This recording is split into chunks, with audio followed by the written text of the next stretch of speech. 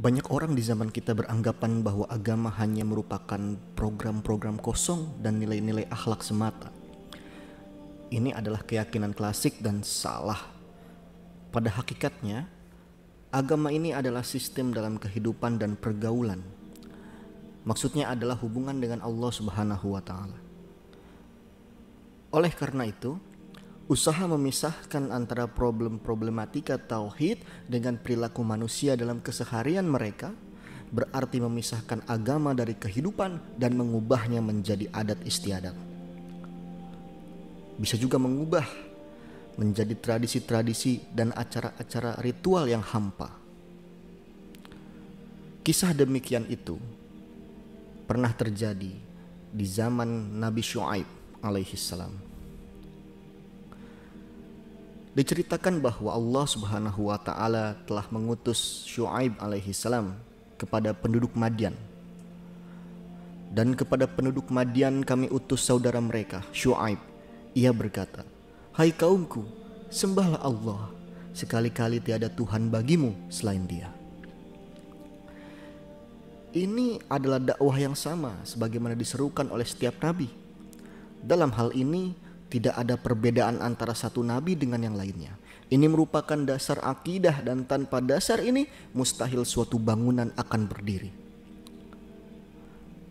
Maka dari itu setelah peletakan bangunan akidah tersebut, Nabi Shu'aib alaihi salam mulai menyuarakan dakwahnya.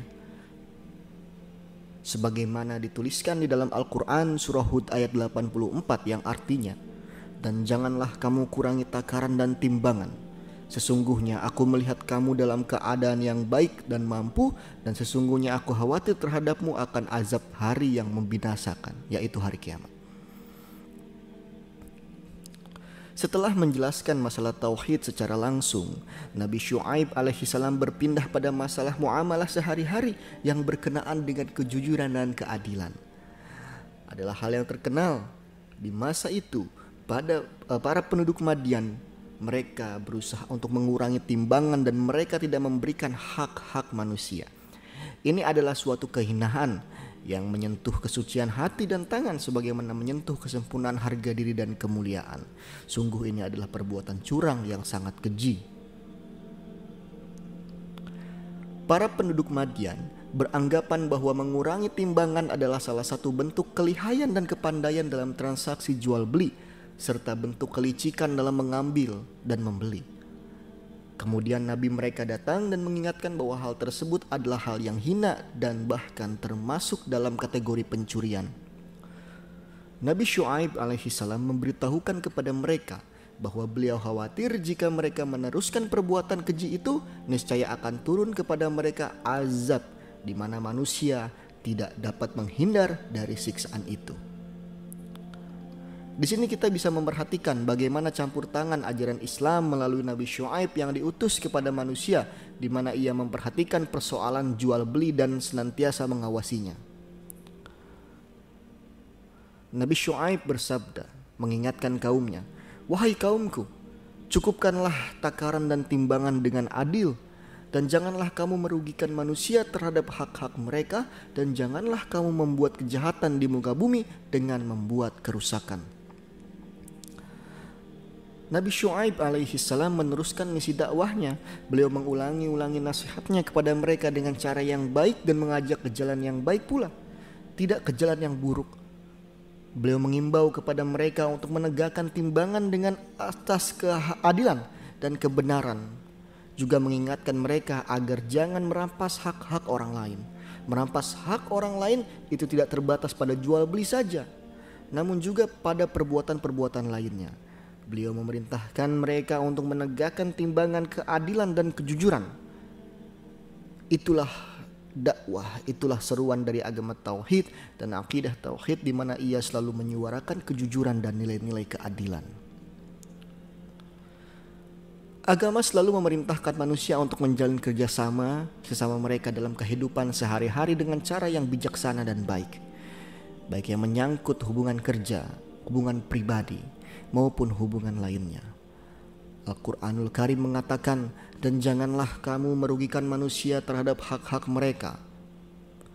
dan di situ terdapat kata syai yang berarti sesuatu. Dalam ayat tersebut diucapkan kepada hal-hal yang bersifat materi maupun yang bersifat non materi, yaitu bersifat jasmani maupun yang bersifat ruhani. Di mana eh, masuk juga ke dalam kategori itu perbuatan-perbuatan dan hubungan-hubungan yang menghasilkan. Al-Quran melarang segala bentuk kezaliman, baik berkenaan dengan menimbang buah-buahan atau sayur-sayuran maupun kezaliman dalam bentuk tidak memberikan penghargaan terhadap usaha manusia dan pekerjaan mereka. Sebab kezaliman terhadap manusia akan menciptakan suasana ketidakharmonisan yang nantinya berakibat pada timbulnya penderitaan, sikap putus asa, tidak peduli, sehingga pada akhirnya hubungan sesama manusia berjalan tidak harmonis menimbulkan goncangan juga dalam kehidupan. Oleh karena itu, Al-Quranul Karim mengingatkan agar jangan sampai ada manusia yang berbuat kerusakan di muka bumi ini.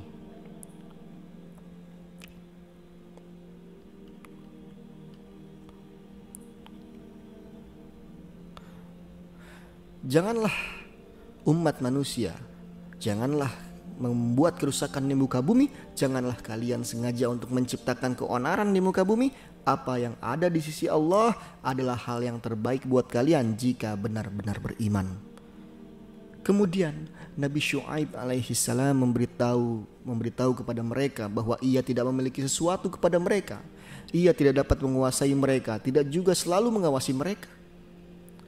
Beliau hanya sekedar rasul dan utusan untuk menyampaikan ajaran Allah Subhanahu wa taala sebagaimana disebutkan di dalam akhir Quran surah Hud ayat 86 yang artinya dan aku bukanlah seorang penjaga atas dirimu. Dengan cara yang demikian, Nabi Shu'aib alaihi salam menjelaskan kaumnya bahwa masalah yang mereka hadapi saat ini sangat penting dan sangat serius, bahkan sangat berat. Beliau memberitahu mereka akibat yang bakal mereka terima jika mereka membuat kerusakan. Selesailah bagian awal dari dialog Nabi Shu'aib bersama kaumnya. Nabi Shu'aib alaihi salam telah mengawali pembicaraan dan kaumnya pun mendengarkannya. Kemudian beliau berhenti dari pembicaraannya dan sekarang kaumnya yang membuka pembicaraan. Diceritakan dalam Al-Quran surah Hud ayat 87 yang artinya mereka kaumnya berkata, Hai Shu'aib, apakah agamamu yang menyuruh agar kami meninggalkan apa yang disembah oleh bapak-bapak kami atau melarang berbuat apa yang kami kehendaki tentang harta kami? Sesungguhnya kamu adalah orang yang sangat penyantun lagi berakal. Dari sini diketahui bahwa para penduduk Madian yang kafir mereka biasa sekali merampok dan menyembah Al-Aikah yaitu sebuah pohon dari Al-Aik yang dikelilingi oleh dahan-dahan yang berputar sekelilingnya. Mereka termasuk orang-orang yang menjalin hubungan sesama manusia dengan cara yang sangat keji mereka suka mengurangi timbangan. Mereka mengambil yang lebih darinya dan tidak menghiraukan kekurangannya. Perhatikanlah semua itu uh, dalam suatu dialog mereka bersama Shu'aib alaihi salam. Mereka berkata, "Wahai Shu'aib, apakah agamamu yang memerintahkanmu?" Nah, di sini seakan-akan agama ini mendorong Shu'aib dan membisikinya serta memerintahkannya sehingga ia menaati tanpa pertimbangan dan pemikiran. Nah, pemikiran sempit ini dari kaum Madian yang kafir mengatakan bahwa Nabi Shu'aib alaihissalam melakukan dakwanya sebatas pegangan agamanya saja. Ia tidak berpikir bahwa Nabi Shu'aib juga mempertimbangkan dan memikirkan perintah-perintah yang dibawa oleh Allah Subhanahu wa taala sehingga dengan jelas ajaran yang Allah ajarkan kepada kaumnya, ajaran yang diajarkan kepada para rasulnya untuk para kaumnya adalah ajaran yang benar. Sungguh, mereka menganggap Nabi Shu'aib telah berubah dengan agamanya itu menjadi alat yang bergerak dan alat yang tidak sadar. Demikian itulah celaan dan tujuan keji yang dialamatkan oleh kaum Nabi Shu'aib kepadanya. Mereka meyakini bahwa agama yang dibawa oleh Nabi Shu'aib adalah penyebab dirinya menjadi gila dan membuatnya nekat untuk memerintahkan mereka meninggalkan apa yang selama ini mereka lakukan apa yang selama ini mereka sembah dan juga disembah oleh kakek-kakek mereka. Kakek-kakek mereka sebelumnya telah menyembah tumbuhan-tumbuhan dan pepohonan, sementara agama Nabi Shu'aib alaihissalam memerintahkan mereka hanya menyembah Allah. Sampai-sampai mereka menganggap bahwa kok bisa Nabi Shu'aib alaihissalam sangat nekat mengajarkan ajaran agamanya sementara masa lalunya nenek moyangnya mengajarkan penyembahan terhadap tumbuh-tumbuhan maupun pepohonan dengan ejekan dan penghinaan ini, Nabi Shu'aib alaihi salam menghadapi dialog yang terjadi dengan mereka. Kemudian mereka kembali bertanya-tanya dengan penuh rasa heran dan dengan penuh nada yang mengejek. Apakah agamamu yang menyuruh agar kami meninggalkan apa yang disembah oleh bapak-bapak kami? Tidaklah engkau sadar, wahai Shu'aib, bahwa agamamu ingin mencampuri keinginan kita dan cara kita menggunakan harta-harta kita? Lantas apa hubungannya keimanan itu? Apa hubungannya kau berbicara tentang tauhid dan hubungannya tentang ibadah? Apa hubungannya dengan muamalah materi? Dengan pertanyaan ini kita bisa melihat bahwa kaum Syuaib mengira bahwa mereka mencapai suatu tingkat kecerdasan. Mereka mengemukakan di hadapannya problematika keimanan dan mereka mengingkari adanya hubungan mereka mengingkari adanya keterkaitan antara perilaku manusia dan muamalah mereka serta ekonomi mereka. Ya bisa kita lihat ini sebenarnya adalah masalah yang sangat klasik. Ini adalah usaha untuk memisahkan antara ekonomi dan Islam di mana setiap nabi justru diutus untuknya meskipun nama-nama mereka berbeda-beda. Ini adalah masalah yang kuno yang diungkapnya oleh kaum Nabi Shu'aib alaihissalam di mana mereka mengingkari bahwa agama turut campur dalam kehidupan keseharian mereka, turut campur dalam kehidupan ekonomi mereka, serta bagaimana mereka menggunakan harta mereka. Mereka menganggap bahwa menginfakkan harta atau menggunakannya atau bahkan menghambur-hamburkannya ini tidak ada hubungannya dengan agama. Mereka menganggap bahwa hal itu hanyalah hubungannya dengan kebebasan pribadi manusia itu adalah hak pribadi. Bukankah itu hartanya yang khusus lalu mengapa agama ikut campur dalam mengaturnya? Nah, demikianlah pemikiran dan pemahaman kaum Nabi Shu'aib alaihi salam kepada ajaran yang dibawa oleh Nabi Shu'aib alaihi salam. Kami kira kita bisa melihat di sini semua yang demikian sedikit atau banyak tidak berbeda dengan pemahaman masyarakat modern di zaman kita sekarang. Mulailah muncul pemikiran di mana agama tidak ada hubungannya dengan praktik muamalah. Bahkan sebagian dari manusia yang hidup di zaman saat ini menganggap bahwa agama tidak sepatutnya mengatur-ngatur kehidupan manusia. Kita kembali kepada uh, kisah Nabi Shu'aib alaihissalam.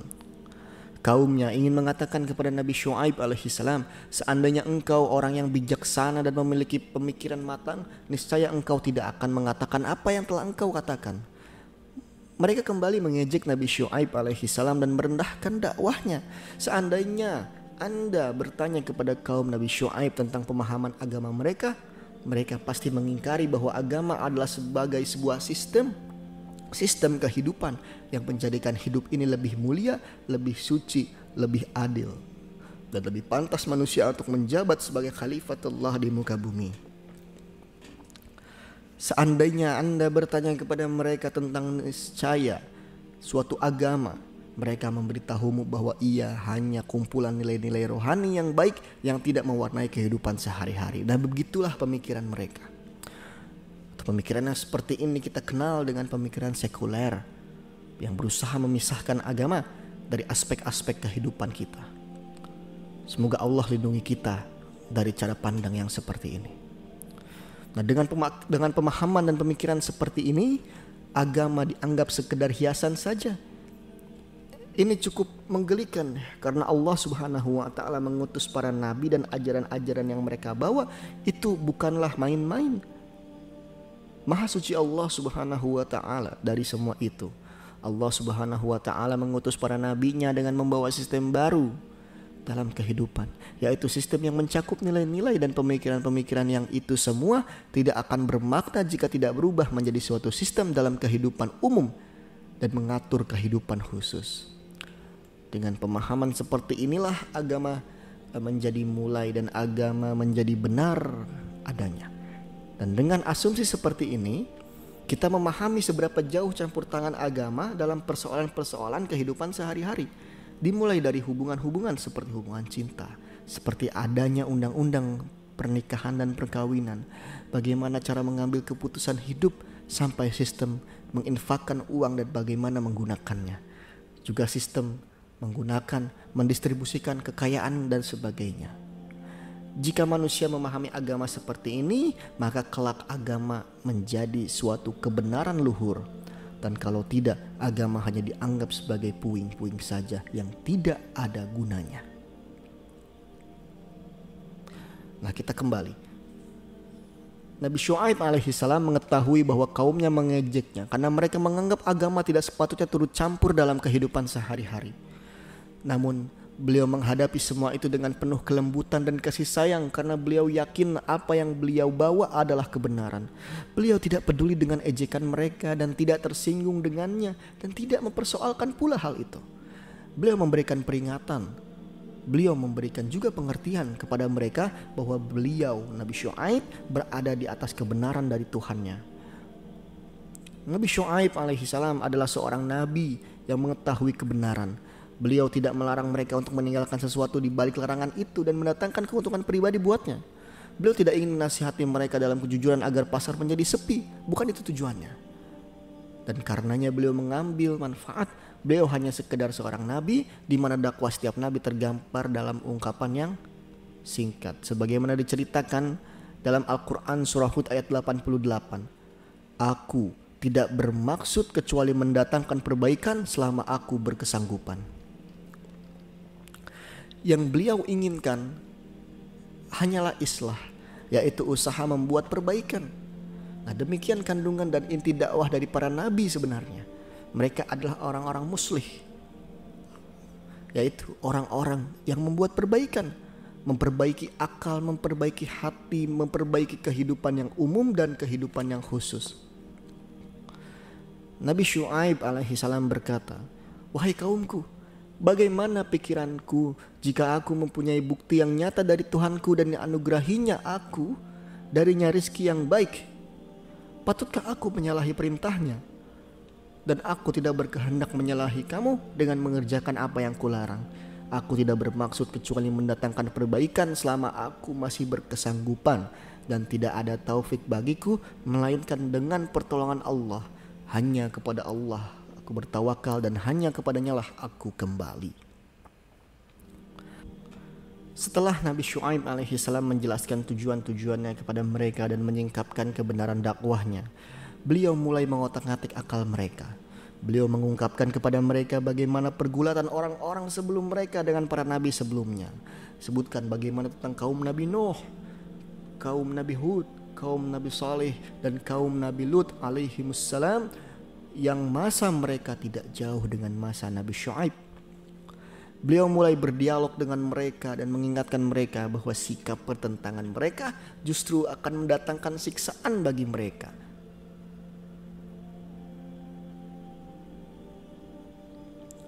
Usai Nabi Shu'aib alaihissalam berdakwah kepada Allah subhanahu wa ta'ala dan menjelaskan islah dan mengingatkan mereka bahwa pertentangan serta menakut-nakuti mereka dengan menceritakan kembali siksa-siksa yang pernah diterima orang-orang terdahulu. Meskipun demikian, Nabi Shu'aib alaihissalam tetap membukakan pintu pengampunan dan pintu taubat bagi mereka.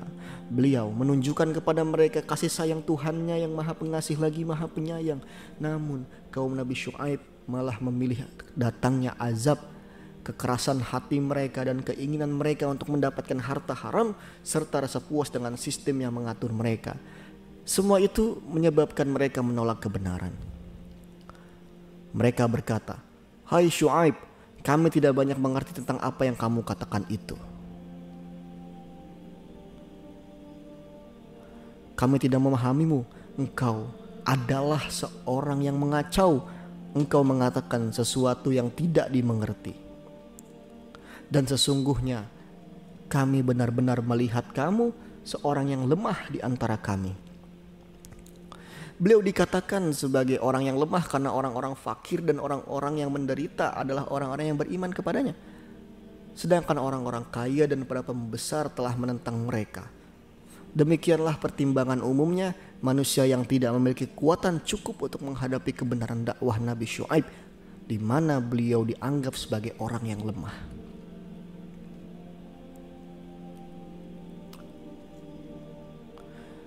Kaum Nabi Shu'aib berpindah dari cara mengejek pada cara menyerang. Nabi Shu'aib alaihi salam telah menyampaikan bukti kepada mereka setelah mereka mengejeknya. Lalu mereka mengubah cara mereka berdialog. Mereka memberitahu bahwa mereka tidak memahami apa yang beliau katakan. Mereka melihat Nabi Shu'aib alaihi salam sebagai orang yang lemah dan hina. Dan seandainya kalau bukan karena mereka kasihan kepada keluarganya, niscaya mereka akan membunuhnya. Mereka menampakkan kebencian kepada Nabi Shu'aib dan ingin sekali membunuhnya kalau bukan karena alasan-alasan yang berhubungan dengan keluarganya. Menghadapi ancaman itu, Nabi Shu'aib alaihi salam tetap menunjukkan sikap lemah lembutnya. Lalu beliau bertanya kepada mereka dengan maksud menggugah kesekian kalinya akal mereka. Nabi Shu'aib alaihi salam menjawab, Hai kaumku, Apakah keluargaku lebih terhormat menurut pandanganmu daripada Allah? Nah, apakah cukup rasional jika mereka membayangkan hal tersebut? Mereka melupakan hakikat kekuatan yang mengatur alam. Sesungguhnya hanya Allah Subhanahu wa taala yang maha mulia dan maha kuat. Seharusnya mereka mengingat hal itu bukanlah faktor-faktor lain. Seharusnya seseorang tidak takut kepada apa pun selain Allah Subhanahu wa taala dan tidak membandingkan kekuatan di dalam alam wujud ini dengan kekuatan Allah. Dan hanya Allah lah yang kuat dan hanya Dia yang mengatur hamba-hambanya. Lama-lama kaum Nabi Shu'aib mulai kesal dan semakin kesal dengannya. Berkumpullah para pembesar dari kaumnya berkata, dalam Al-Quran surah Al-A'raf ayat 88. Pemuka-pemuka dari kaum Shu'aib yang menyombongkan diri berkata, Sesungguhnya kami akan mengusir kamu hai Shu'aib dan dengan orang-orang yang beriman bersamamu dari kota kami, kecuali kamu kembali kepada agama kami. Nah, di sini mereka mulai menggunakan tahap baru dengan cara mengancam, memberikan ancamannya untuk membunuh dan mengusir dari desa mereka. Mereka memberi pilihan kepada Nabi Shu'aib antara terusir keluar dari kota mereka dan atau kembali kepada agama mereka, menyembah-nyembah pohon dan benda-benda mati. Nabi Shu'aib memberitahu kepada mereka bahwa masalah kembalinya ia ke agama mereka adalah masalah yang tidak berhubungan dengan masalah-masalah yang disebut dalam perjanjian. Sungguh Allah Subhanahu wa taala telah menyelamatkan beliau dari agama mereka. Lalu bagaimana beliau kembali lagi padanya? Beliau yang mengajak mereka pada agama tauhid, lalu bagaimana beliau mengajak mereka untuk kembali pada kesyirikan dan kekufuran? Beliau mengajak mereka dengan cara yang lembut dan kasih sayang sementara mereka mengancamnya dengan kekuatan. Demikianlah pertentangan antara Nabi Shu'aib dan kaumnya semakin berlanjut Nabi Shu'aib memegang amanat dakwah untuk menghadapi para pembesar, para pendusta, dan para penguasa kaumnya. Akhirnya, Nabi Shu'aib mulai mengetahui bahwa mereka tidak lagi memiliki harapan karena mereka telah benar-benar berpaling dari Allah Subhanahu wa taala. Allah berfirman menceritakan di dalam Al-Qur'an surah Hud ayat 92 sampai 93 sedang Allah kamu jadikan sesuatu yang terbuang di belakangmu. Sesungguhnya pengetahuan Tuhanku meliputi apa yang kamu kerjakan. Dan dia berkata, Hai kaumku, buatlah menurut kemampuanmu. Sesungguhnya aku pun berbuat pula. Kelak kamu akan mengetahui siapa yang akan ditimpa azab yang menghinakannya dan siapa yang berdusta. Dan tunggulah azab dari Allah. Sesungguhnya aku pun menunggu bersama kamu. Pada akhirnya Nabi Shu'aib alaihissalam berlepas diri dari mereka. Mereka telah berpaling dari agama Allah, bahkan telah mendustakan nabinya dan menuduhnya bahwa ia tersihir dan seorang pembohong. Maka setiap orang hendaklah melakukan apa saja yang diinginkannya dan hendaklah mereka menunggu azab. Kemudian pergulatan antara Nabi Shu'aib dan kaumnya berakhir munculnya fase baru. Mereka minta kepada Nabi Shu'aib untuk mendatangkan azab dari langit jika beliau termasuk orang-orang yang benar. Dengan nada mencibir, dengan nada yang menantang mereka berkata, "Di mana azab itu? Mana siksaan yang kau janjikan itu? Mengapa lama sekali? Mengapa terlambat datang?" Mereka terus mengejek Nabi Shu'aib dan beliau dengan tenang menunggunya datang azab Allah Subhanahu wa taala. Lalu Allah mewahyukan kepada beliau agar keluar bersama orang-orang mukmin dari desa tersebut. Dan akhirnya Nabi Shu'aib keluar bersama para pengikutnya dan datanglah azab Allah. Dikisahkan dalam Al-Quran surah Hud ayat 94 sampai 95. Dan tak kala datang azab kami, kami selamatkan Syuaib dan orang-orang yang beriman bersama-sama dia dengan rahmat dari kami. Dan orang-orang yang lalim diminasakan oleh satu suara mengguntur. Lalu jadilah mereka mati bergelimpangan di rumahnya. Seolah-olah mereka belum pernah berdiam di tempat itu. Ingatlah kebinasaan bagi penduduk Madian sebagaimana kaum Thamud telah binasa. Ini adalah teriakan sekali saja satu suara yang datang kepada mereka dari celah-celah awan yang menyelimuti. Mula-mula mereka barangkali bergembira karena membayangkan itu adalah pembawa hujan. Tapi mereka dikagetkan ketika datang kepada mereka siksaan yang besar pada hari yang besar. Maka selesailah masalah ini. Mereka menyadari bahwa teriakan itu membawa bencana buat mereka. Teriakan itu menghanguskan setiap makhluk yang ada di dalam negeri itu mereka tidak mampu bergerak dan tidak mampu menyembunyikan diri dan tidak pula mereka dapat menyelamatkan diri mereka. Demikianlah kisah Nabi Shu'aib alaihi salam dan penduduknya kaum Madian. Semoga kita bisa mengambil ibrah, memantapkan iman kita, meningkatkan kemampuan yang kita miliki semata-mata untuk meraih ridho Allah Subhanahu wa taala.